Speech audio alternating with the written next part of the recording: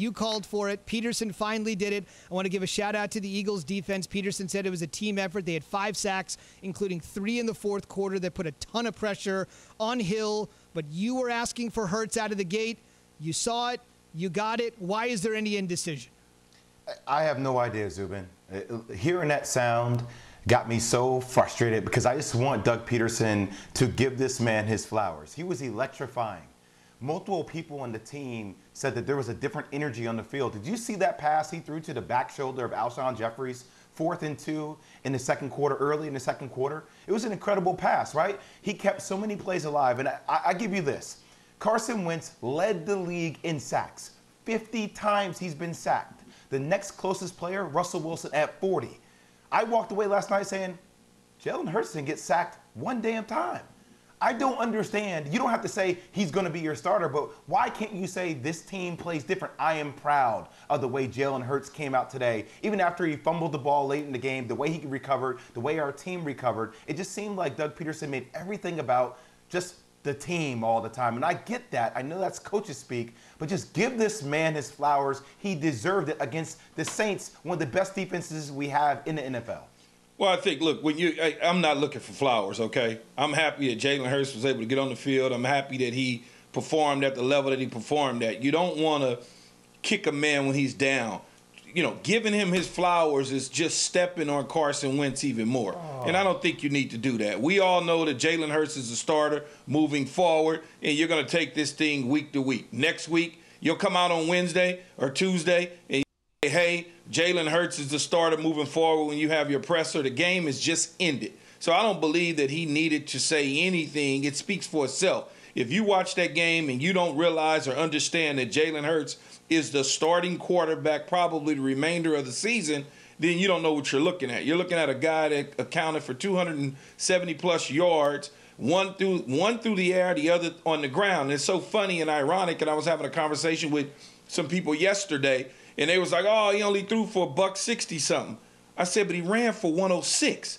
If Carson Wentz had thrown for 270, you would say it's a great game.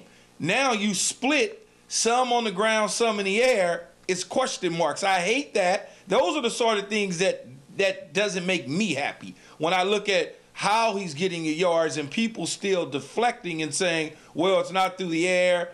Okay, well, 276 part of 270 some odd yards is part of your total yardage, who gives a damn? You got the W, and he'll be the starter next week. Keyshawn Johnson, you and I have had so many conversations. We make fun of each other all the time. You tell me all the time. Now, you don't have to worry about me. I'm not delicate. I'm not sensitive. Now you're telling me that Doug Pederson is worried about the state of mind of Carson Wentz after they beat the Eagles and they get a huge win? He's thinking about well, that. I didn't know podium. they could beat. I didn't know they could beat the Eagles because they are. I mean the, the Saints. The Saints. You know what I mean. You know. Stop it. You know what I mean. Don't try to deflect. You're doing what Doug Pederson does. Stop deflecting. Just tell the truth. No, look, Jay. At the end, man, you don't. Uh, yes, he's sensitive. He's a quarterback. They all sensitive. How many times I got to say this to you? Why kick him when he's already down? Don't need to. He knows he was.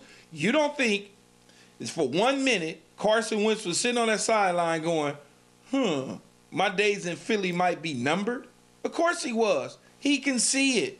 So why kick him when he's already down? There's no need to do that. You don't have to kick him, but you can at least be supportive of your quarterback that just stepped into a, a a crazy situation and actually handled it exceptionally well. Yeah. Like I don't, you don't have to kick somebody while you're down or to build somebody back up. Key, you know, the, the, the two aren't mutually exclusive. You know what I mean? You can still do that in a polite way. That, it just seems that, like he that will happen. It didn't happen in the post game press conference, but it will happen as he addressed everything this week. They'll ask him about Jalen Hurts again either today or tomorrow, whenever he's scheduled to talk to the media, and he'll give Jalen Hurts some sugar at that time. Everything's calmed down.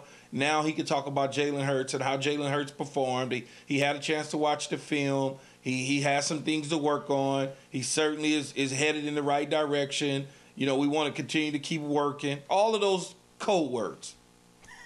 You sound so practical and reasonable. Damn it, Keith, this is not who you are. I know who you are inside.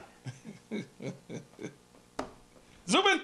Let's go. Last word on this, fellas, would be Jake Elliott missed a chip shot 22 yard field goal near the end of the first half. If he had knocked that in, that would have been another scoring drive for Jalen Hurts because right now, with the sample size so small, we're looking at everything. How many passes did he complete? Where is he running? How many drives equaled points? But you can't give him the Jake Elliott because he missed it. But keep in mind, a chip shot field goal would have given him another successful scoring drive. Last thing I would just say the other quarterback, if you watch the two touchdown passes that Taysom Hill threw, Emmanuel Sanders Sanders and Jared Cook both had to make unbelievable catches for those to come down as scores, and Taysom Hill looked ineffective for the first time. Drew Brees should be back, and not a moment too soon, fellas. They got the Kansas City Chiefs coming to town on Sunday, and oh, by the way, City indeed. Come on, Drew Brees, get back. And we should also mention that the Saints wake up this morning not in first place in the NFC. Their nine game win streak comes to an end, and the Packers are now mm. in first. So if the Steelers have a little bit of a skid going in some ways, so do the Saints in the NFC. Thanks for watching ESPN on YouTube. For live streaming sports and premium content, subscribe to ESPN Plus right now.